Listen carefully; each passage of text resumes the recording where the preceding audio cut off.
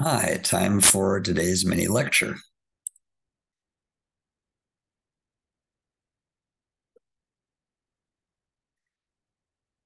Today, let's go back to that program that we did a few days ago, where I have the number of hours and minutes for two tasks, and I need to find the total time. And here was the code that I wrote. I had you enter the hours and minutes for task number one and for task number two. And then I figured out the total hours, total minutes, and did a whole bunch of arithmetic to make it work, and then printed that out. Okay, that's fine. Uh, let's call this total time two, I guess. I'm going to modify this. Now, what would happen if I had given the number of hours and minutes for two sets of two tasks, find the total task, and find the total time, excuse me, for each set. Excuse me a moment here.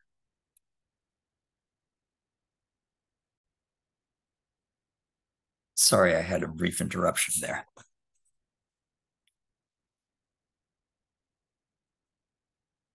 Yeah,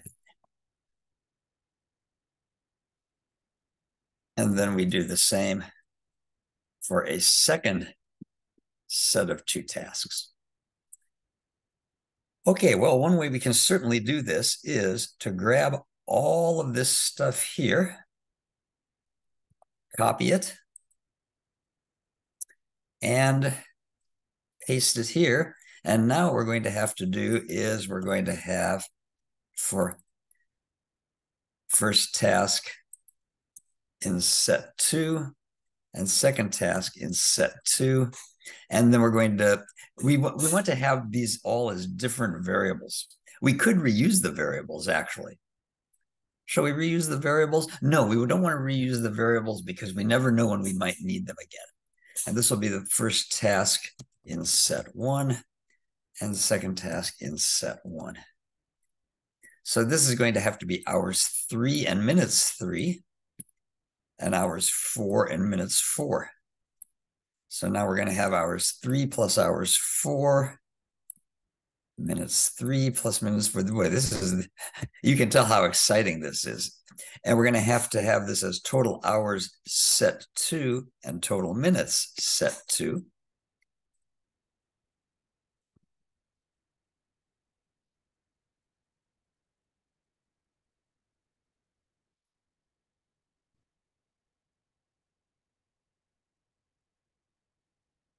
And finally, total hours set to, total minutes set to. Yes, this is this is more work than I thought it was going to be, but this is good actually. This is total hours for set one, total minutes for set one. Ah, dearie me. You know what I'm going to use? I'm going to use copy and paste so they don't make myself. Notice that, by the way, when I'm doing all this copying and pasting, I'm just sort of blindly hoping that I get everything right. Because if I screw up one of my copies and pastes, everything is going to fall down, go boom. Okay, let's compile this and see how many errors I have. I have no errors. That's quite a surprise. Okay, let's run the program. So first set in task one is, let's say, four hours and two minutes and three hours and four minutes. That's seven hours and six minutes. And then the next one is going to be, let's say, five hours and 15 minutes and three hours and 49 minutes, which should be nine hours and some odd minutes. Okay, cool. So that's working. Uh, oh my goodness, what a lot of work that was. That's just horrible. Gee, wouldn't it be nice if there were an easier way to do this? And the answer is why, yes, we can use functions, to, methods, excuse me, to do it. Sorry, I was programming in a different language earlier today, and I was talking about functions. They call them functions, we call them methods. Okay, we can use methods to solve this problem in an easier way. Let's go and save this as total time with methods.java. What I'd like to do is I'd like to get my hours and minutes here and then the second hours in minutes, and then all of this stuff here, where I'm going to print all this stuff out. I'm going to cut that out. and I'm going to put it here in a method. It's going to be public static. I'm going to fill this in a little bit later. And let's uh, call this calculate total time. And it's going to have an integer hours one, minutes one. Now we're getting a line that's a little bit long, so I'm going to go to the next line. Int hours two, and minutes two.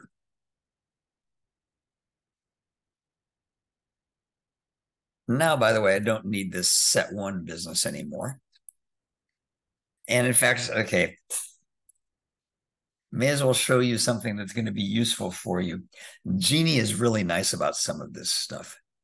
I can select all of these lines here, and then I can go to the edit menu and I can say, I'm sorry, the search menu and say replace. I'm going to replace set one with nothing at all let me turn these up here. And then I can say, by the way, when you first open it, you might see the replace all here. You'll click the little arrow, and then you can say, I want all of set one in this selection to be replaced with nothing. There, that saved me a lot of typing. So learn to love replace.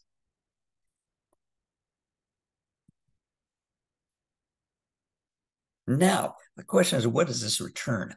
And the answer is this returns nothing at all. All that we're doing here is we're printing stuff out on the screen. Let's look at one of our programs from yesterday here. Uh, let's go to purchase.java. Remember, calculate price returns some result that we could use later on, and it was a double. The problem is here, look what we're doing. We're printing total hours and total minutes, and that's two numbers, and you can't return two numbers. But we can print two numbers here, and we're returning nothing at all. When you don't return anything at all, that's called a void method. So now I'm going to read hours one and minutes one, hours two and minutes two. And now I'm going to call my method calculate total time. And I'm going to give it hours one, hours two, hours, or minutes one, excuse me. Better give them in the right order. Hours two and minutes two. And now, let me print a, an extra blank line.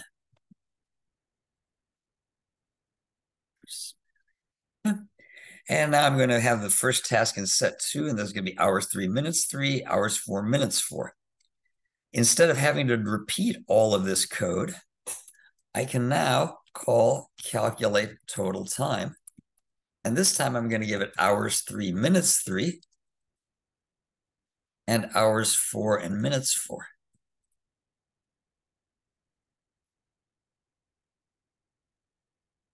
That way, hours three, minutes three, hours four, minutes four will fill in these four parameters here and it'll do the calculations with the numbers that I want. And oh, okay, minutes per hour, unfortunately, belongs in this method. Yeah. Let me undo this and show you what happened. It said it got to line 33 and said, excuse me, I can't find the symbol minutes per hour. And that's because minutes per hour is main, but calculate total time needs it. In fact, that's where it belongs because main doesn't care how many minutes there are per hour. Only calculate total time cares how many minutes there are per hour. And I also have to change the name of this to total time with methods.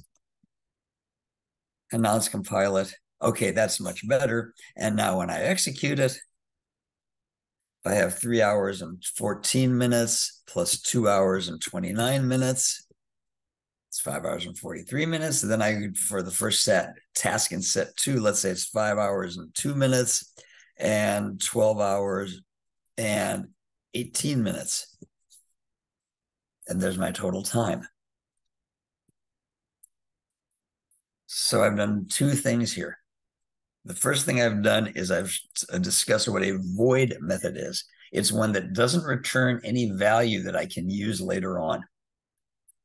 And the second thing I've done is I have made a method and I'm calling it twice with different arguments in order to have in order to avoid duplicating code.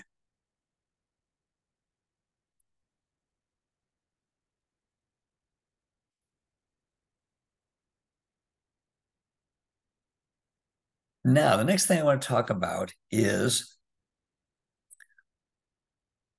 have told you already, okay, actually, okay, well, let's let's put some, let's write some philosophies. So here's the question I want to ask. Which is better, value returning methods or void methods?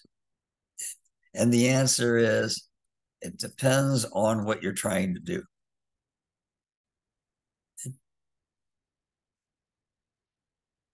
In general, I prefer to write uh, value returning methods.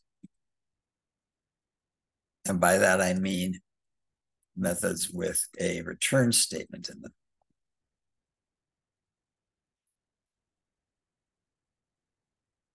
So the question is, well, since I can only re re return one value, would there be any way to make this program work where I could use a value returning function? And pardon me again for using the word function. When I say function, translate in your head to method if I don't do it myself.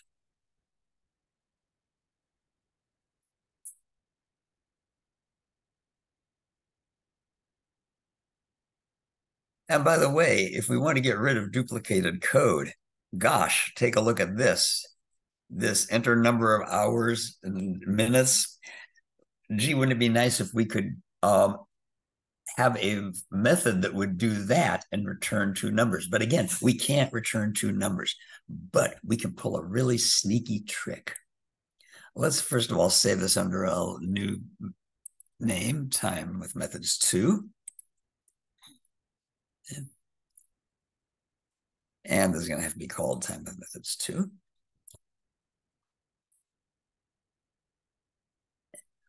All of this is going to remain exactly the same as it is. It's still going to do all the same thing here, except here's what we're going to do.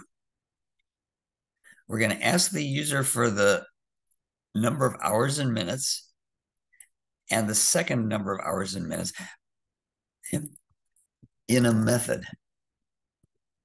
This method can only return one value, but we can be sneaky we can multiply the hours times 60 and add the minutes to get the total minutes for this task. And that's just one number. Then when we ask the user for a second task number of hours and minutes, we can again do that in a method.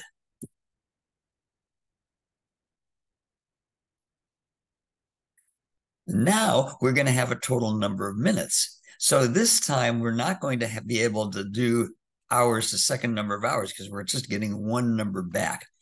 Boy, I need to explain this further. Okay. Here's what's going to happen. We're going to say enter number of hours and minutes for task one. And let's say they say three hours and 20 minutes. What we're going to do is we're going to return three times 60 plus 20 which is 200. So that's going to be our time for task one. Now we're going to say enter number of hours and minutes for task two. And that's going to be, let's say, oh, four hours and 49 minutes. And that means we're going to return four times 60 plus 49, and that is going to give us um, 240 plus 49 is 289 minutes. And we'll put that in time for task two.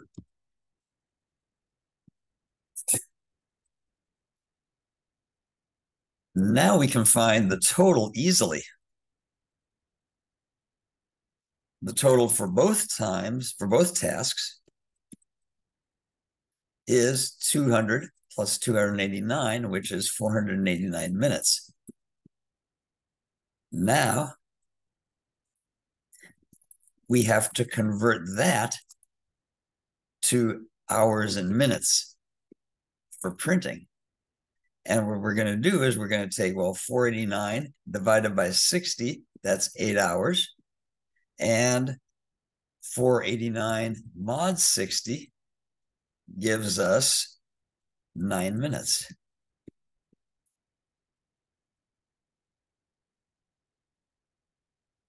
So that's the plan.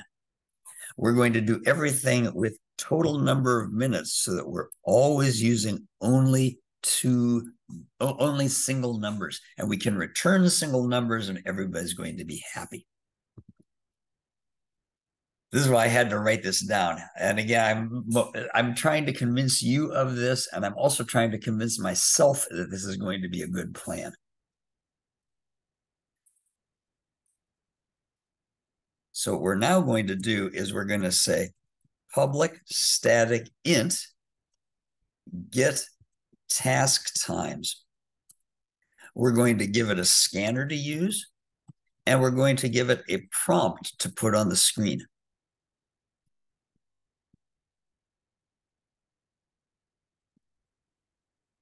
We're going to print out the prompt. And then what we're going to say is we're going to say int, the number of hours is going to be input dot next int. And minutes is going to be input dot next int. Essentially, we are doing this code here. But instead of returning both of them, which we can't do, we're going to return hours times 60 plus minutes.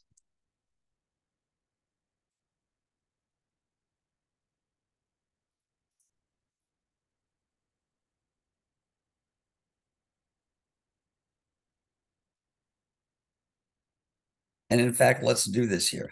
Let's say here, um,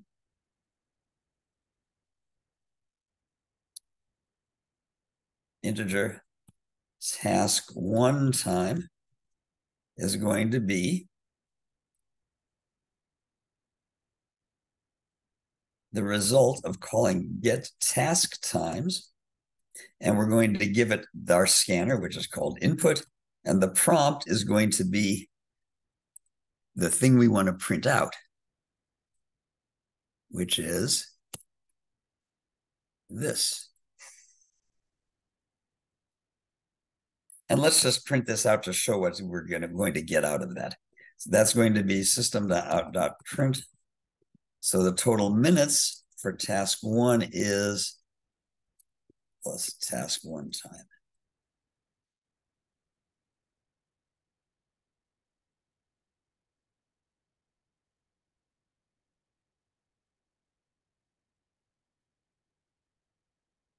Ah, we don't have this anymore.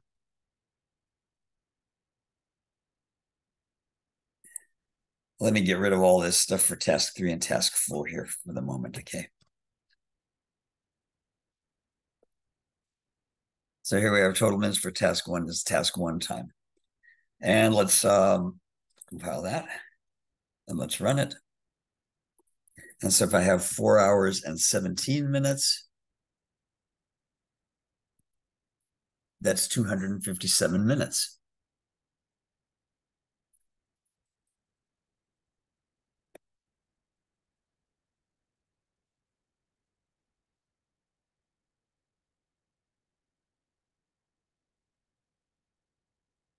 So now we're going to do another int task two time, and we're going to get the task times. We're going to have input and the prompt,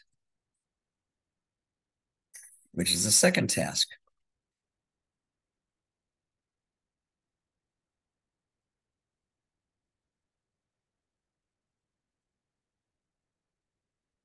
Now, in fact, um, what I can do here is I can say it first set total is going to be task one time plus task two time And then I can say system.out.printf total time for task one. For tasks, tasks one and two is hours percent D minutes. And I'll fill in the blank with the first set total divided by 60 and the first set total mod 60.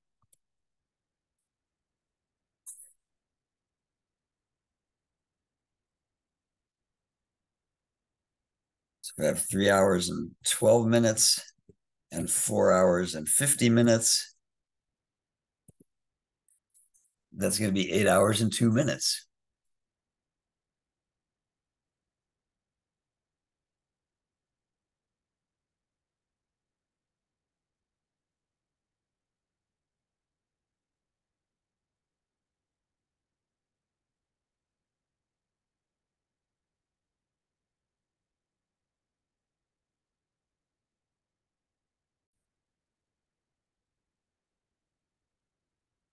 Now, it looks like I'm back where I started again because I need my second set. And I'm going to have to repeat all of this code again. Well, I'm going to have to now make another method that will take care of all this stuff here that I have highlighted. So we'll call this public static void because it's going to just print a result. It's not going to return anything that we're going to use. And we're going to say, let's process a task set. And we're going to give it an integer that has the task set number.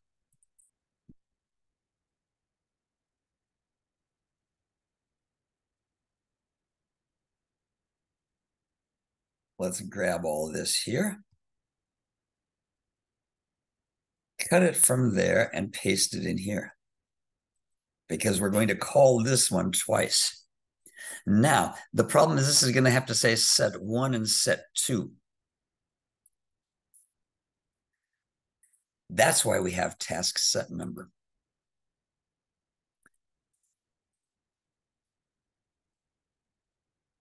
What we're going to do is we're going to create a string that has the number inside of it.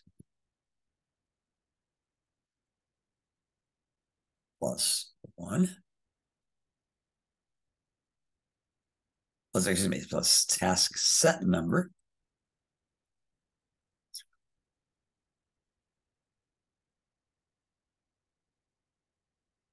So here's our prompt. It'll say enter number of hours and minutes for first task in set, whatever number it is that we're using, separated by spaces. And here's our task two time. We're going to do the same sort of thing. Instead of set one, we're going to put in whatever our task set number is. And then follow that with the words separated by spaces. Then let's call it task set total. And the total time for tasks now instead of one and two. Um, this is going to be interesting.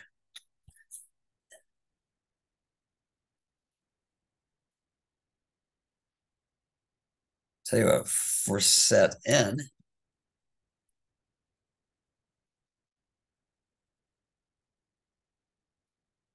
we'll change our output a little bit.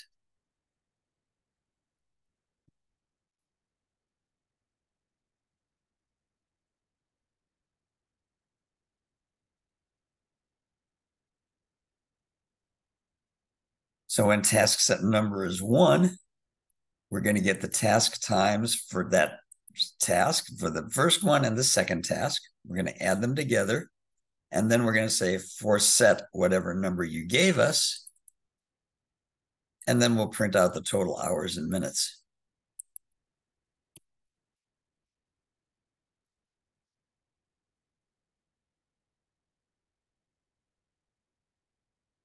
I'm not sure which version I'm on here, so I'm going to save this under. Um, and I'm going to say keep saving it with this um, total time with methods two. If that's correct, okay.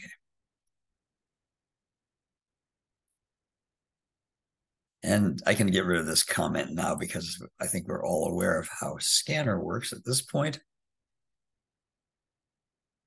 Now what I'm going to do is I'm going to say process task set.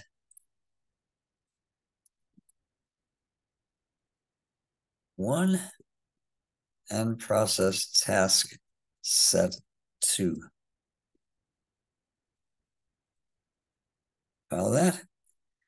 And okay, since I don't have firsts, um, hmm. Okay, we got a whole bunch of errors. Let's figure out what's going on here. Cannot find. Oh, yes, I have to pass my scanner on to this one also, it looks like. The problem is it doesn't know what input is. Okay, not a problem. We're going to just say process task set. We'll give it the input and one, input into, there we go. That will take care of some of our problems. And then this is going to be the task set total div 60 and the task set total mod 60. And let's run it. So there's our task set one, which is fine. So we're going to say four hours and four, 24 minutes. And let's say three hours and 48 minutes. And so for set one, the total time is eight hours, 12 minutes. For our first task in set two, we're going to say, let's say five hours and one minute and um, one hour and 49 minutes.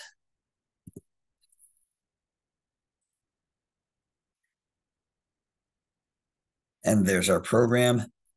And I want to put in one more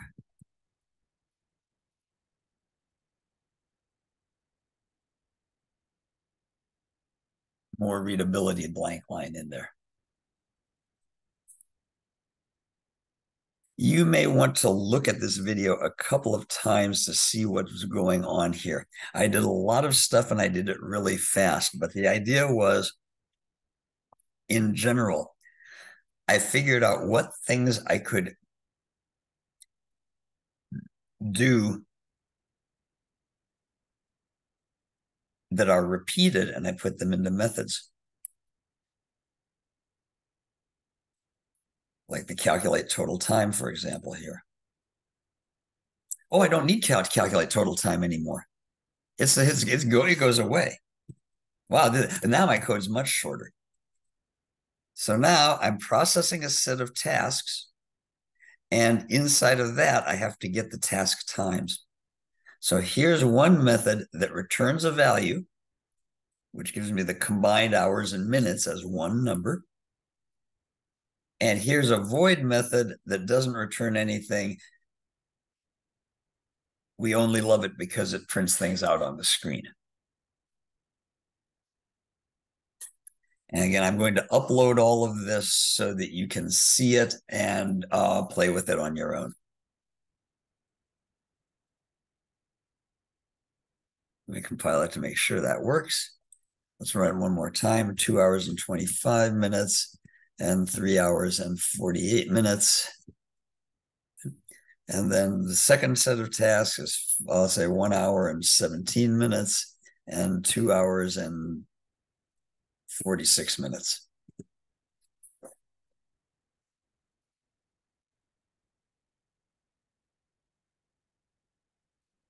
And that's one reason that you really, well, that was exciting. My phone just hit the floor. I hope it's in good shape. Um, and that's one reason that you want to learn about methods because it uh, lets you take a task which would be repetitive, that you'd be doing a ton of copying and pasting, and it lets you avoid that duplication. Also, we've now split this this program into smaller parts. One part to get the task times, and another one to process a set of tasks. So use methods avoid repetitive code with minor changes. And by minor change, I mean The only thing that is different between task set one and task set two was the task set number. I made it a parameter and solved the problem that way. And second, lets you break down a problem into smaller parts where each method solves a part of the program, a part of the problem.